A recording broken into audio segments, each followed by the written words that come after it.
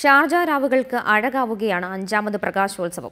അൽ ഖസ്ബ മസ്ജിദ് അൽ നൂർ Corniche തുടങ്ങിയ ആറോളം ഇടങ്ങളിലാണ് പ്രകാശോത്സവം നടക്കുന്നത്. ദിവസവും നൂറുകണക്കിന് ആളുകൾ പ്രകാശോത്സവം ആസ്വദിക്കാൻ ഷാർജയിലെത്തുന്നുണ്ട്.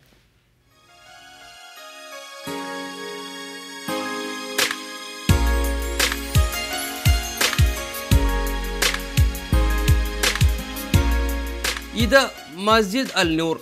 നോക്കി നിൽക്കുമ്പോൾ മസ്ജിദിന്റെ നിറം മാറും. ആദ്യം നീല പിന്നെ ചുവപ്പ്. അങ്ങനെ ഏഴ് വർണങ്ങൾ.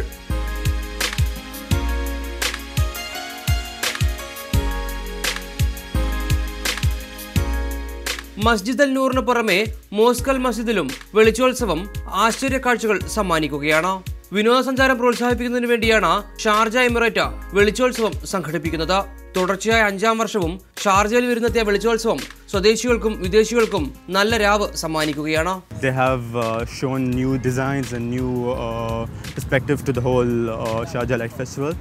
Uh, the team is Normanda and uh, they, ca- they came from France and this is being uh, uh, this is being uh, shown in different uh, seven different places uh, including Central Souk, uh, Kasbah, uh, Noor Masjid um, and two other places. കോർണിഷിൽ കറങ്ങുന്ന തീഗോളങ്ങളാണ് വെളിച്ചോത്സവത്തിന്റെ പ്രധാന ആകർഷണം